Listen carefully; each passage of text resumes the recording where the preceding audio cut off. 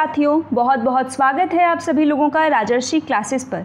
हम लोग इस वीडियो में बात करने वाले हैं सीएमपी डिग्री कॉलेज के टोटल काउंसलिंग प्रक्रिया के बारे में। कैसे आपको पता लगेगा, आपको क्या फिल करना है, किस वेबसाइट, किस पोर्टल पर आपको सारी इन्फॉर्मेशन मिलेंगी, इसके साथ ही किन किन सब्जेक्ट्स की कट ऑफ़ आ गई है और आप कैसे अप्लाई कर सकते हैं, सारी चीज़ों के बारे में आपको इस वीडियो में कंप्लीट जानकारी मिलने वाली है। तो वीडियो को बहुत ही आराम से बिना स्किप किए लास्ट तक देखिएगा ताकि जो सारी आपके डिटेल्स हैं, जो बाद में फिर आप लोग कंफ्यूज होते हैं, उस चीज़ को न हो, इसके लिए ध्यान से कंसंट्रेट होकर देखिएगा कहाँ पे क्या चीज़ों को बताई जा रही है। ठीक है? तो चलिए, वीडियो की करते हैं शुरुआत, लेकिन उसके पहले जो भी लोग पहली बार चैनल पर विज़िट करें या पहली बार चैनल पर इस वीडियो को देख रहे हैं, जल्दी से सब्सक्राइब कर दीजिए, क्योंकि इलाहाबाद विश्वविद्यालय की हर एक खबर जो ऑथेंटिक है टू द पॉइंट जो आपके काम की है, वो आप तक पहुँचाने का काम हम करते हैं। तो यहाँ पर अभी जैसा कि मैंने प्रीवियस वीडियो में भी बताया था कि आपकी जो सीएमपी डिग्री कॉलेज है, इसके साथ आईएसडीसी एडीसी अब धीरे धीरे उनके भी जो है आपके कट ऑफ़ आएँगे और वहाँ पर भी आपकी काउंसलिंग की प्रक्रिया शुरू हो जाएगी। कुछ का ऑफलाइन होगा, कुछ एफिलेटेड का ऑनलाइन होगा। ऑफलाइन में मैंने बताया था, कल तीन गर्ल्स कॉलेज का एस एस खन्ना का, इन लोगों का बताया था। और अब जिसका ऑनलाइन है सी का। तो सीएमपी का जो है, आप कहीं भी हो, इलाहाबाद में या इलाहाबाद के बाहर, आपको ऑनलाइन पोर्टल से आप इसके ईजिली कर सकते हैं। कैसे कर सकते हैं? हर एक एक स्टेप मैं आपको खुद भी करके दिखाऊँगी। ये इसका जो है मेन पोर्टल है। आपको क्या करना है? आपको नहीं पता तो सीधा जाइए अपने गूगल पे। गूगल पे देखिए, मैंने सिंपल जो है, आप या तो बोल दीजिए या लिख दीजिए सी एम डिग्री कॉलेज। जैसे ही आप सिर्फ़ इतना लिखेंगे गूगल पर, आपके सामने कुछ इस प्रकार का इंटरफेस आएगा।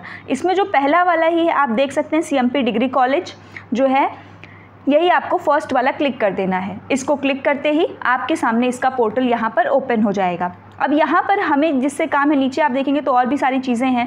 हमें क्या कराना है? कराना है हमें एडमिशन तो एडमिशन हम ये पोर्टल पर क्लिक करेंगे। अब देखिए इसमें जो कट ऑफ़ आई है जो मेन कैंपस है, कुछ कट ऑफ़ आपको ऐसा दिखेगा कि जो मेन कैंपस में जो कट ऑफ़ अभी चल रही है, उससे कुछ नंबर आगे पीछे होगा। क्योंकि सीएमपी मैंने पहले भी बताया है कि इसकी कट ऑफ़ मेन कैंपस से थोड़ी बहुत इधर उधर रहती है और कुछ विषय की कट ऑफ़ तो ज़्यादा भी हो जाती है। उसका मेन रीज़न क्या होगा कि जो सीट है आपकी, उसकी वजह से। क्योंकि वहाँ हो सकता है सीटों की संख्या कम हो, यहाँ वो सीट अवेलेबल है तो कॉम्पटिशन ज़्यादा होगा तो मेन सी चीज़ कट ऑफ़ आपका हाई जाएगा। क्लियर इतनी बात? अब यहाँ एडमिशन पोर्टल पर मैंने क्लिक कर दिया है। अब एडमिशन पोर्टल के बाद आपको यहाँ पर कुछ चीज़ें लिखी हुई दिख रही हैं अपने सामने। जब आप भी अपने फ़ोन से इसको करेंगे तो आपके सामने भी ऐसी चीज़ें आएँगी। तो इसका मतलब मैं आपको बताती हूँ, आप चाहें तो इसको पढ़ सकते हैं। मैं एक बार विज़िट करके मैंने सारी चीज़ों को गो थ्रू हो गई हूँ कि क्या क्या चीज़ें लिखी हैं। इनका कहना है कि जैसे जब हमने मेन कैंपस की काउंसलिंग करी तो उसमें भी ये चीज़ था कि आपको पीजीएटी रोल नंबर ही अपना जो है यूज़ करना है। तो यहाँ इनका कहना है कि आपका जो विषय है, जैसे मान लीजिए कि अपने सब्जेक्ट कोड के साथ आपको अपना एप्लीकेशन नंबर या फिर पीजीएटी का रोल नंबर एडमिशन पोर्टल पर यूज़ करना है। जैसे कि मान लेते हैं आपको बी ए सब्जेक्ट के लिए क्या करना है? लॉग इन करना है। तो आप सबसे पहले ये आपका स्टार्टिंग में जो बी एल के ट्वेंटी लिखा हुआ है, ये आपका सारे में ट्वेंटी थ्री आपका लिखा रहेगा। आई थिंक ये ईयर का इन लोगों ने बनाया कि दो हज़ार तेईस है तो तेईस। इसके बाद सब्जेक्ट का नाम लिखेंगे आप, ठीक है? जैसे मान लीजिए तेईस है आपका तो two three B A L L B subject का नाम, फिर C U E T application number या रोल नंबर दोनों एक ही, आपका जो एप्लीकेशन नंबर या फिर रोल नंबर जैसा लिखा रहेगा आपके उसमें ओपन करने पर वही चीज़ आपको लिखना है। अब जैसे इन्होंने दे दिया कि twenty three B A L L B अब मान लेते हैं कि एग्ज़ाम्पल इन्होंने यहाँ पर दिया है कि रोल नंबर इतना है। ठीक है, जितना भी आपके ज़ीरो हैं लास्ट में वन एक वन तो twenty three B L L B फिर आपका वन और फिर वो ज़ीरो आपको लिख देना है।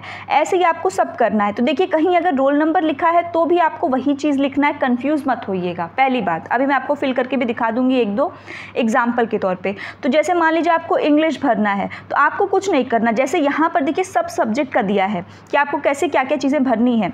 और ये भी ध्यान रखिएगा कि सबका नहीं। जैसे यहाँ पे B L L B short में है तो इसने पूरा लिखा है। यहाँ जो आपका सब्जेक्ट है, एक बार उसको देख लीजिएगा। जैसे देखिए, आप अगर ध्यान से देखेंगे तो जैसे आपका बीएससी मैथमेटिक्स है तो बीएससी मैथ पूरा नहीं लिखा है इन्होंने। इन्होंने सिर्फ़ बीएससी का बीएससी लिया और मैथ का एम ले लिया, बस। उसके बाद जो आपका रोल नंबर है वो। इसी प्रकार से जो छोटे एलएलबी है तो इसका पूरा आ जाएगा। जूलॉजी है, जैसे तो देखिए, सिर्फ़ जू जेड डबल ओ लिया है। बॉटनी है तो सिर्फ़ बी ओ टी लिया है। केमिस्ट्री है तो सी एच ई लिया है। फिजिक्स है तो पी एच वाई तो दो या तीन लेटर स्टार्टिंग के ले लिए। इसी तरह इंग्लिश है तो आपका ई एल आई इंग्लिश वाले ध्यान देंगे। ई एन जी नहीं लिया है ई एल आई लिया है। ध्यान देंगे इस चीज़ को। उसके बाद P G A T roll number डाल करके करेंगे, ठीक है? इसी के साथ देखिए, बाकी सबका तो ठीक है, संस्कृत, पॉलिटिकल साइकोलॉजी सबके स्टार्टिंग के थ्री वर्ड्स इन्होंने ले लिए हैं।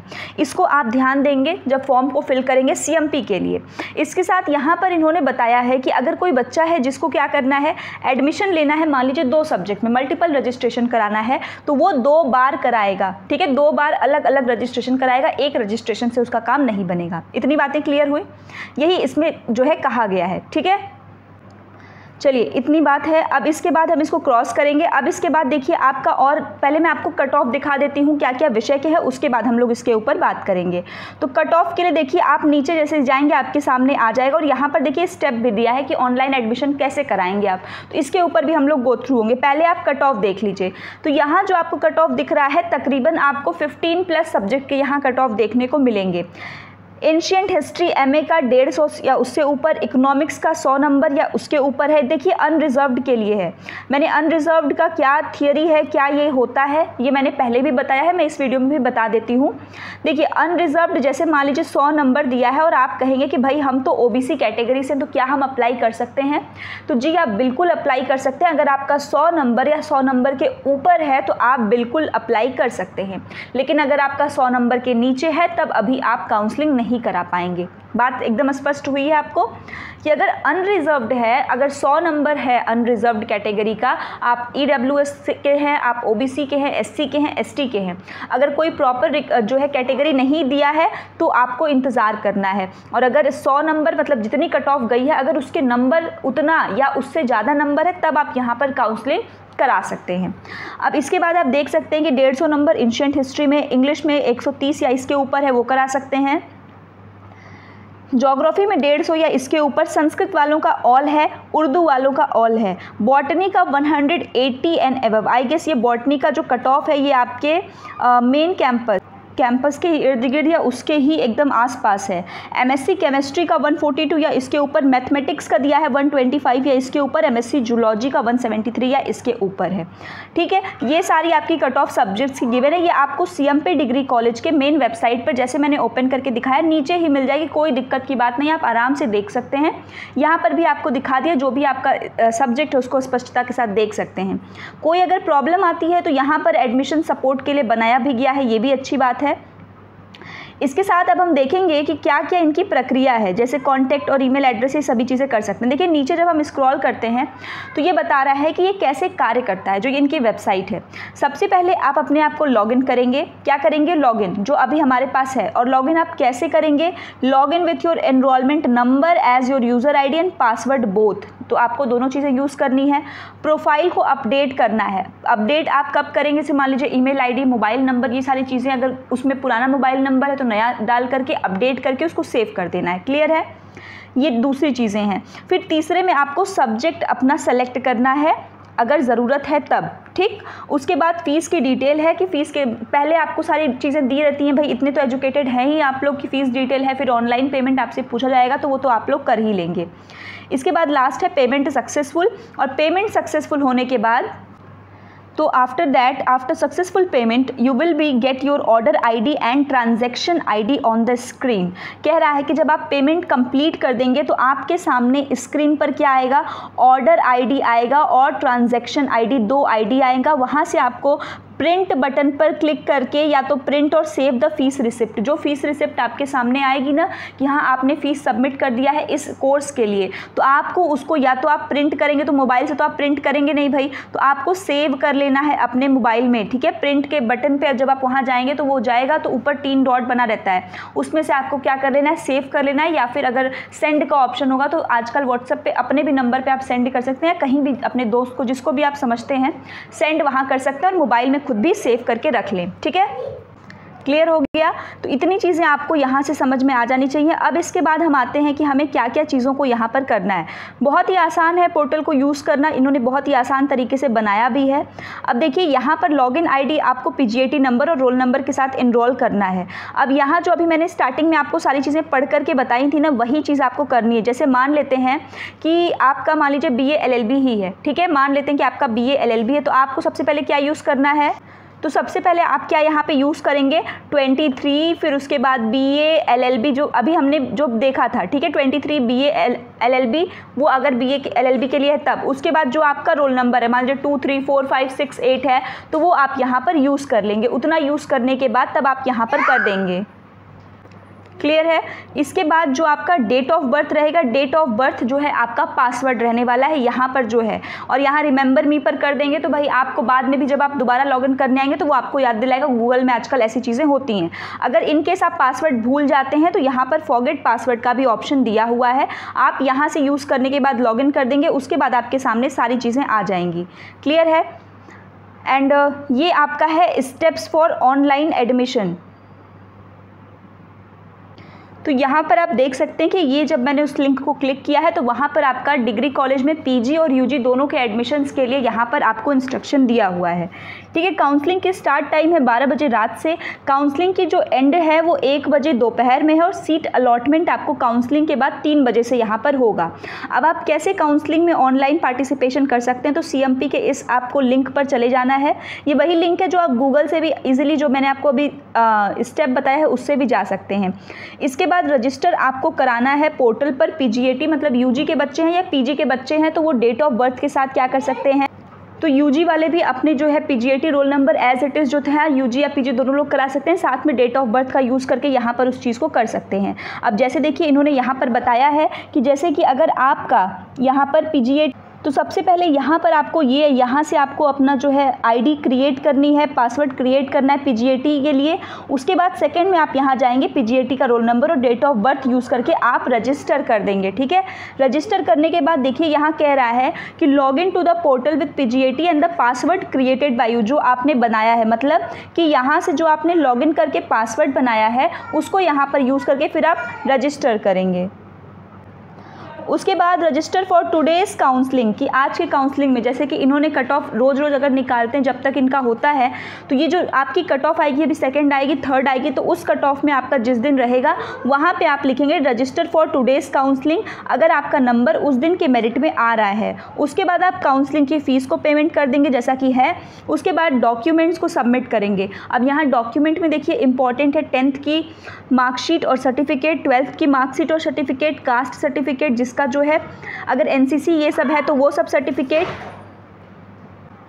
इसको कर देंगे। इसके बाद आपकी रिसेंट पासपोर्ट साइज़ फ़ोटो चाहिए, आधार कार्ड या फिर government ID proof TC migration अगर आपके पास जो है if currently not student of university of Allahabad degree या सर्टिफिकेट इनका कहने का मतलब है कि इलाहाबाद से कोई भी संबंधित आपके उसमें एफिलेटेड में या मेन कैंपस में आप पहले पढ़े हैं यूजी किए हैं अगर तो यहाँ पर आपको तब यहाँ पर मार्कशीट और टीसी देने की ज़रूरत नहीं है। उसके बाद आप यहाँ पर अपना सब्जेक्ट चॉइस फिल करेंगे। फिर उसके बाद जब आप सब्जेक्ट चॉइस कर लेंगे कि आपको ये सब्जेक्ट चाहिए, उसके बाद save and lock the choice ज़रूर से करिएगा, भूल मत जाइएगा, नीचे लिखा रहेगा। Save and lock the choice कि आपने जो सब्जेक्ट को चुना है, उसको आप सेव कर रहे हैं और लॉक कर रहे हैं। Otherwise you will not be able to participate in the counselling अगर आपने सेव और लॉक नहीं किया है, तब आप यहाँ पे काउंसलिंग में पार्टिसिपेट नहीं कर पाएँगे। इस बात को ध्यान दीजिएगा।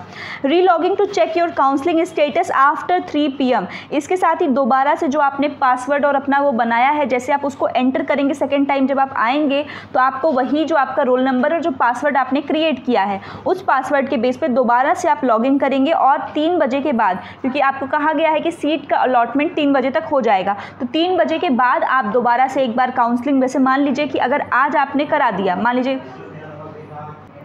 तो यहाँ पर आपने जैसे आज करा दिया तो इसमें लिखा हुआ है स्टार्टिंग में कि भाई बारह बजे से आपका शुरू होगा और उसके बाद एक बजे तक आपका काउंसलिंग खत्म होगा और तीन बजे से सीट अलॉटमेंट होगा। तो तीन बजे के बाद दोबारा से आप जो है लॉगिन करेंगे और देखेंगे कि आपकी सीट कन्फर्म हुई है या नहीं। सब्जेक्ट चॉइस करने के बाद सेव और लॉक का ऑप्शन टिक करना बिल्कुल ना भूलें। Deposit your fee if you have been allotted a seat within a twenty four hour पहले तो देखिए काउंसलिंग फ़ीस आपको पहले ही भर देनी है। काउंसलिंग फ़ीस भरने के बाद ही डॉक्यूमेंट ये सारी चीज़ें आप करेंगे। मतलब काउंसलिंग के लिए एलिजिबल एलिजिबल हैं। उसके बाद जब आपको सीट कंफर्म हो जाती है तो 24 घंटे के भीतर आपको फ़ीस जमा करनी है। अगर नहीं करेंगे तो आपकी सीट ली जा सकती है, ठीक है? What to do after taking online admission अब जब आपने ऑनलाइन एडमिशन ले लिया, उसके बाद आपको क्या करना है? ध्यान से सुनिए। Submit following documents at the respective counter in C M P degree college Prayagraj transfer certificate and affidavit अगर देखिए आपने ऑनलाइन ले लिया, उसके बाद देखिए आपको क्या करना है? ट्रांसफ़र सर्टिफिकेट आपको जाके सबमिट करना है and affidavit proforma is available on the C M P admission portal यहाँ पे आपको एक एफिडेविट जो है पोर्टल पर ही मिल जाएगा। Two copy of fees receipt ये भी आपको लगाना और migration not from UP board student ठीक है? यूपी बोर्ड का बच्चा है तो उससे यहाँ पर नहीं चाहिए माइग्रेशन ठीक है? इतना क्लियर हुआ? तो ये चीज़ आपको यहाँ पर सबमिट करनी है। देखिए, जो एफिडेविट बनवाएँगे तो वो आपको जाके तहसील से नहीं बनवाना है। उसका प्रोफार्मा कह रहा है कि वो सीएमपी के एडमिशन पोर्टल पर गिवन रहेगा। मैं इसको लेकर के टेलीग्राम चैनल पर एफिडेविट का प्रोफार्मा जो है सेंड कर दूँगी। वहाँ से आप ले सकते हैं। फ़ीस रिसिप्ट की दो कॉपी जाके सबमिट करनी है। माइग्रेशन चाहिए, लेकिन सबसे नहीं, जिससे नहीं चाहिए, उसको लिखा हुआ यूपी बोर्ड स्टूडेंट्स और ट्रांसफ़र सर्टिफिकेट ये आपको सबमिट करना है। ठीक है, अगर आपको सीएमपी डिग्री कॉलेज में एडमिशन लेना है। अगर आपको कोई भी समस्या है तो यहाँ पर आप जो है ट्वेंटी फोर इंटू सेवन आप इस पर भी जो है मेल कर सकते हैं। इसके साथ ही यहाँ पर आपका जो है नंबर भी दिया हुआ है। इस नंबर पर भी कॉल करके आप यहाँ पे अगर आपको कोई प्रॉब्लम है रिलेटेड टू काउंसलिंग, एडमिशन तो आप यहाँ पर पूछ सकते हैं। So this is all about the CMP degree college counselling procedure उम्मीद है कि आपको काउंसलिंग प्रोसीजर समझ में आया होगा। कोई समस्या है तो कॉमेंट सेक्शन ऑन है, आप वहाँ लिख कर बता सकते हैं। इसके साथ ही जैसे ही कोई और अपडेट आती है, आप तक उसको तुरंत पहुँचाया जाएगा। और चैनल को अभी तक सब्सक्राइब नहीं किया तो सब्सक्राइब करके जुड़ जाइए। मिलते हैं अगली वीडियो में। तब तक अपना ख्याल रखें, स्वस्थ रहें, सुरक्षित रहें। जय हिंद।